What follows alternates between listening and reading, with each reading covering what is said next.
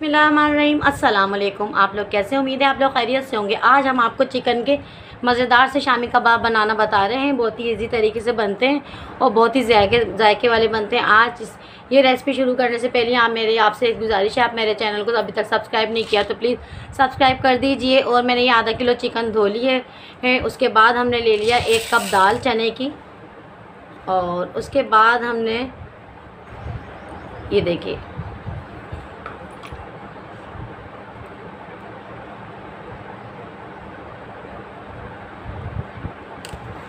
देखिए, हम रेसिपी शुरू कर चुके हैं और चूल्हे पे अपना दोबारा हमने दाल और गोश्त को धोया है। एक मरतबा गोश्त धो लिया, उसके बाद दाल डाल के हमने उसके बाद दोबारा दोनों चीज़ों को मिक्स करके धोया है और ये मैंने, ये देखिए, अदरक लिए दो गाठ और एक गाठ मैंने लहसुन के लिए, हसबे ज़ायका नमक, गरम मसाला और हमारी ये मिर्चें हैं कुछ। और अब हम ये तमाम चीज़ें इसमें ऐड कर देंगे। ये देखिए। और अब हमें इसमें पानी ऐड कर देना है। पानी हमें इतना ऐड करना है कि हमारी दाल अच्छे से गल जाए। और गोश्त तो हमारा बहुत जल्दी से और बसानी तरीके से गल जाता है। तो अभी हम इसको थोड़ा सा गलने का इंतज़ार करते हैं, फिर हम आपको दिखाते हैं क्या करना है आगे। ये देखिए, अच्छे तरीके से तमाम चीज़ों को मिक्स कर दीजिए। गोश्त की बोटियाँ हमने छोटी नहीं की, क्योंकि हम बसानी तरीके से इस मसाले को पीस सकते हैं। कोई मसला नहीं होगा, चिकन हमारी बहुत जल्दी गल जाएगी। अब हमें गोश्त और दाल गलने का और ये तमाम मसाले गल जाएँगे, फिर हम आपको बताते हैं इसमें क्या क्या मसाले ऐड होते हैं। तो अभी हम गलने का चिकन इंतज़ार करते हैं और दाल। ये देखिए, अब हमने हरा धनिया ले लिया, चंद पत्ती हमने पुदीने की ले ली, तीन हरी मिर्च ले लिए इतनी ज़्यादा हरी मिर्चें हमें ऐड नहीं करनी है क्योंकि हमारी वो वाली मिर्चें भी टेस्ट अलग देंगी और गरम मसाला अलग देगा। आगे देखते हैं, हम बारी बारी की मसाला अभी कटिंग कर लेते हैं फिर आपको दिखाते हैं आगे क्या कर ये देखिए, अब हमारे मसाले में बहुत ही प्यारी से खुशबू आने लगी है। और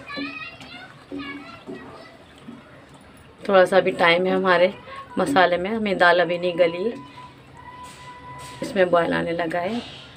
तो अब हम इसको गलने का इंतज़ार करेंगे और फिर हम आपको बताते हैं। ये देखिए, अब हमारा पानी बिल्कुल खुश्क हो गया है।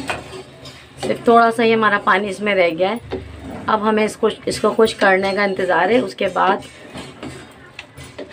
हम इसको आपको दिखाते हैं इसका मसाला। ये देखिए, पानी अच्छे से खुश्क हो चुका है।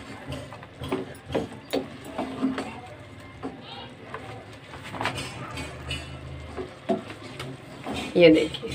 दाल अच्छे से गल गई है और हमारा चिकन भी गल गया है। और तमाम मसाले अच्छे से मिक्स हो गए, बहुत ज़बरदस्ती खुशबू आ रही है हमारे शामी कबाब के मसाले में। ये देखिए, हमारी दाल बहुत अच्छे तरीके से गल गई है। अब इसका तमाम पानी हमें खुश करना है। उसके बाद हम नमक ये देखिए, हमारा मसाला अच्छे तरीके से हमने पानी बिल्कुल खुश कर लिया है। अब हमारा ये मसाला बिल्कुल मुकम्मल है। अब हमें ठंडा करने का इंतज़ार है। इसके बाद हम इसको पीसते हैं और आपको दिखाते हैं।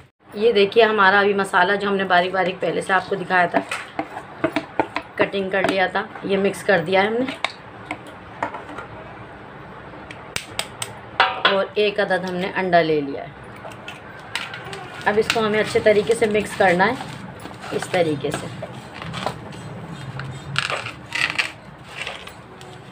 ये अच्छे तरीके से मैड हो जाएगा। हाथ की मदद से कर लें चम्मच से। ये देखिए।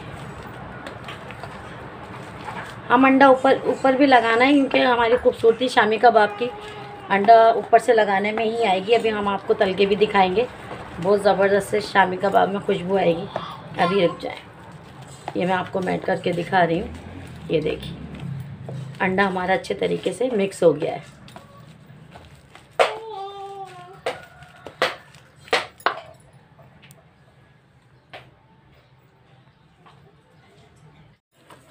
ये देखिए, अब हमारा अच्छे तरीके से मसाला मैड हो चुका है।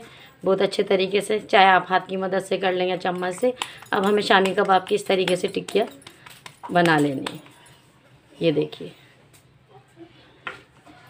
ये देखिए। अभी मैं तमाम मुकम्मल टिकिया करके उसके बाद आपको दिखाती हूँ। बहुत ही खूबसूरत, माशाल्लाह। मज़ा और बहुत ही प्यारी खुशबू है, बहुत ज़बरदस्त सा लुक आ रहा है। अभी ये देखिए हमारी तमाम शामी कबाब की ये हमारी मुकम्मल हो चुकी हैं, ये आखिरी है।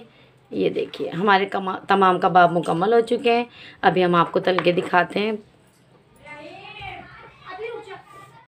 ये देखिए, अब हमने करना क्या है?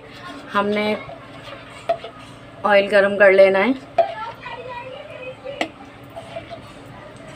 ऑयल गरम करने के बाद हमने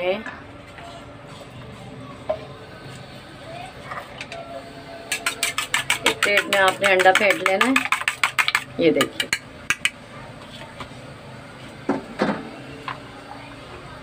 उसके बाद हमारा ऑयल गर्म हो चुका है और ये हमें शामी कबाब अंडा लगाकर इस तरीके से, अंडे का कोट देकर और इसे अच्छे तरीके से सेक लीजिए।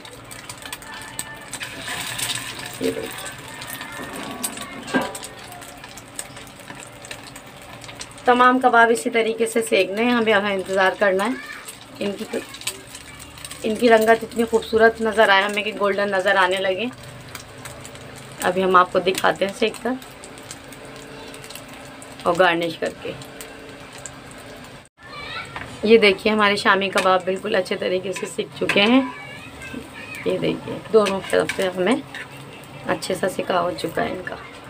अभी हमारे, अब शामी कबाब को हम आपको गार्निश करके दिखाते हैं।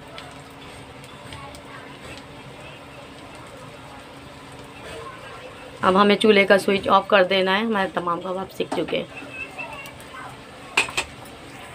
कि आज के हमारे शामी कबाब बिल्कुल रेडी हो चुके हैं। आज के शामी कबाब की, ये चिकन के शामी कबाब की रेसिपी आपको कैसी लगी? आप मुझे अपना फीडबैक देना नहीं भूलिएगा। इसी के साथ मैं अब आपसे इजाज़त चाहती हूँ। अल्लाह हाफि